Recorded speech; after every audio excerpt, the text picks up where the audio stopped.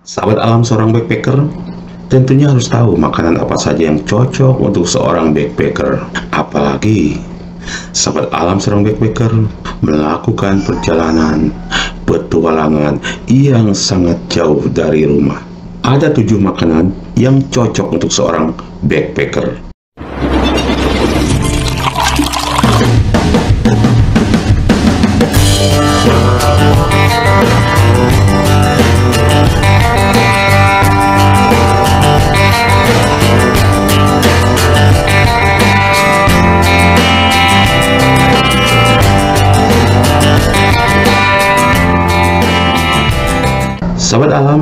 Kembali bersama saya Odi Agusman di Gap Channel. Sahabat alam, bila sahabat alam seorang backpacker, tentunya pasti sudah terbiasa atau sudah tahu ketujuh makanan yang akan saya rekomendasikan untuk sahabat alam seorang backpacker. Tentunya makanan-makanan ini saya rekomendasikan bukan sekedar tes yang enak, lezat, atau lainnya, tetapi tentunya banyak kandungan gizi yang bisa mendukung fisik dan kesehatan sahabat alam. Tentunya makanan ini akan sangat mudah ditemukan dan dari segi budget juga tidak terlalu mahal. Namun, manfaat dari ketujuh makanan ini sangat penting untuk menunjang kegiatan sahabat alam sebagai backpacker. Oke sahabat alam, langsung saja. Apa saja dari ketujuh makanan itu? Yang pertama adalah kacang-kacangan atau biji-bijian. Kacang-kacangan atau biji-bijian adalah pilihan yang sangat mudah dibawa dan akan membuat sahabat alam sebagai backpacker nyaman Tentunya kacang-kacangan dan biji-bijian ini mengandung banyak vitamin, mineral, lemak sehat, serat, dan protein yang dibutuhkan sahabat alam seorang backpacker untuk tetap sehat dan prima pada saat melakukan kegiatan. Dari kacang-kacangan dan biji-bijian ini, salah satunya misalnya kacang almond, kacang mete, biji labu, dan biji bunga matahari. Dari contoh nama-nama tersebut bisa dicampur dengan buah kering untuk camilan lezat yang bisa dinikmati oleh sahabat alam sebagai backpacker saat bepergian dari mulai kendaraan atau pada saat trekking buah kering.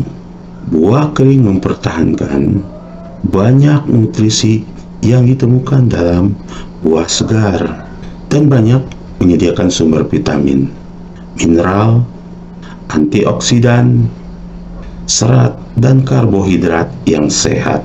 Sebagai contoh dari buah-buah kering ini antara lain kismis, tentunya yang dikeringkan dengan matahari. Karena dengan proses pengeringan dengan matahari ini, kismis mempertahankan mineral dan antioksidan yang ditemukan dalam anggur segar misalnya kurma, termasuk resveratrol, antioksidan kuat yang sangat bermanfaat bagi kesehatan jantung sahabat alam. Yang ketiga dari tujuh makanan yang saya rekomendasikan adalah dendeng. Sahabat alam, di pasaran banyak sekali jenis dendeng. Dari yang sumbernya seperti dari daging sapi, ayam, kalkun, dan bahkan dari varietas salmon. Dendeng dapat memberikan dosis protein yang baik ketika daging tidak segar lagi. Dendeng lebih awet dan tahan lama untuk dibawa oleh sahabat alam saat berkegiatan sebagai backpacker. Dan sahabat alam juga akan sangat mudah mengolah dendeng ini. Karena dendeng itu diibaratkan seperti mie instan, memasaknya tidak terlalu lama. Yang keempat, dari tujuh makanan yang saya rekomendasikan adalah oatmeal instan. Oatmeal dikemas dengan serat. Di dalamnya terkandung vitamin B, magnesium, dan mangan yang menyediakan sumber pengisian karbohidrat. Meskipun beberapa oatmeal instan mengandung tambahan seperti kandungan gula, dan bahan-bahan buatan. Masih banyak produk mengandung bahan-bahan sehat dengan sedikit atau tanpa tambahan buatan. Sahabat alam bisa dicek dalam kemasan bila ingin membeli oatmeal instan yang kandungannya baik untuk kesehatan sahabat alam. Tentunya yang kadar gulanya tidak terlalu tinggi karena terkadang juga gula sangat bermanfaat untuk menambah energi. Tetapi terlalu banyak gula juga akan kurang baik terutama sahabat alam yang punya gejala diabetes. Namun tetapi tentunya diabetes juga kurang baik buat sahabat alam melakukan kegiatan ekstrim seperti mendaki gunung kecuali sekedar kegiatan outdoor yang ringan misalnya hiking jogging dan sebagainya. Berikutnya ini masih termasuk dalam kategori minuman. Yang kelima susu bubuk. Ya ini masuk dalam rekomendasi jenis minuman. Sama seperti susu segar. Susu bubuk dimuat dengan protein berkualitas tinggi. Di dalamnya terkandung vitamin B kalsium dan fosfor. Ini dapat menjadi sumber kalori penting bagi sahabat alam sebagai backpacker dalam kondisi yang sulit. Rekomendasi tujuh makanan yang keenam ini masih berhubungan dengan minuman dan saya yakin tidak asing lagi buat sahabat alam sebagai backpacker kopi dan teh jenis minuman ini sudah banyak dalam kemasan instan kopi dan teh sangat mudah dan ringan untuk disiapkan. Bahkan saat sahabat alam sedang trekking, apalagi sahabat alam di daypack atau carrier membawa termos air dan satu buah cangkir yang biasa dikaitkan di carrier. Kedua minuman ini menjadikannya pilihan yang sempurna kafein dalam kopi dan teh tertentu dapat membantu sahabat alam tetap fokus dan mendapatkan energi selama perjalanan sahabat alam. Namun sahabat alam,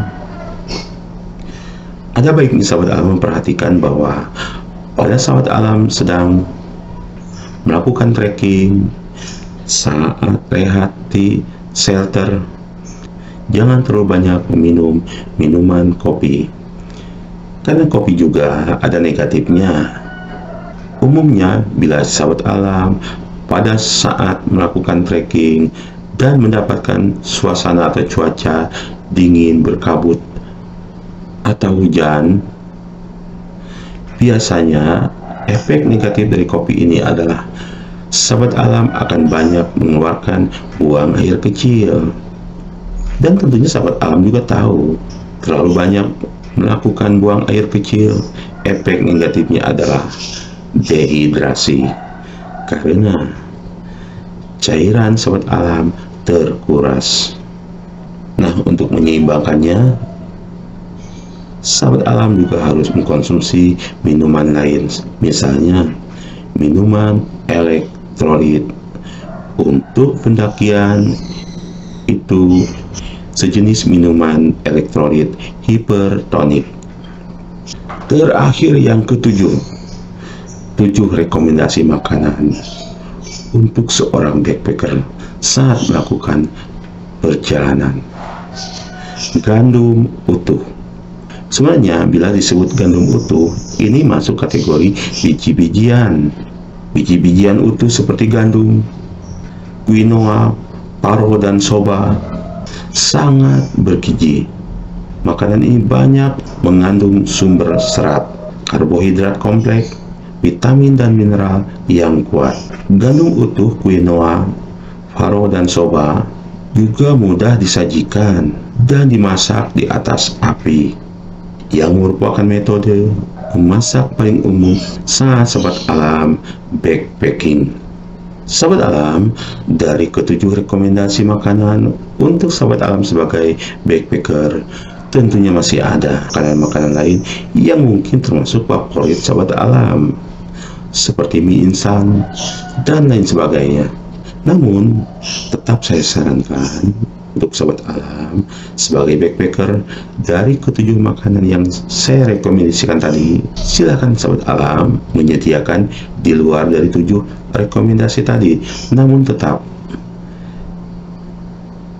pilihlah makanan yang mengandung protein tinggi dan tentunya mengandung serat dan karbohidrat serat sangat baik Makanan-makanan yang mengandung serat sangat baik untuk metabolisme tubuh sahabat alam, untuk pencernaan, dan sebagainya.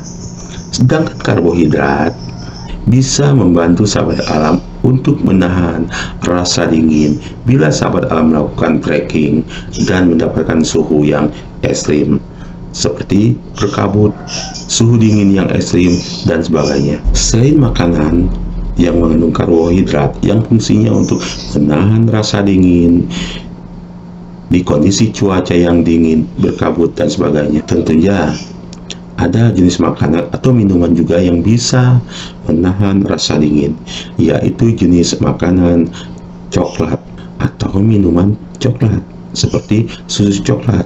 Memang betul makanan wafer roti atau minuman jenis coklat ini bisa menambah sahabat alam menahan rasa dingin. Sahabat alam, dari ketujuh makanan yang saya rekomendasikan ini, saya tidak menjudgment bahwa ini yang terbaik. Ini yang harus sahabat alam adakan dalam anggaran sebagai sahabat alam seorang backpacker. Seperti saya katakan tadi, masih banyak makanan yang lain yang lebih baik. Namun tetap saya harapkan sahabat alam memilih makanan yang banyak mengandung protein, gizi, serat, dan karbohidrat karena semuanya masing-masing sangat bermanfaat untuk mendukung kegiatan sahabat alam sebagai seorang backpacker. Oke sahabat alam, buat sahabat alam yang baru bergabung di Gap Channel, saya mohon dukungan dan solidaritasnya dengan cara bantu like, share kepada sahabat alam lainnya agar bermanfaat, dan jangan lupa bantu subscribe dan tekan loncengnya agar sahabat alam tidak tertinggal di materi-materi berikutnya di Gap Channel. Saya Di Agusman bersama Gap Channel. Salam kali.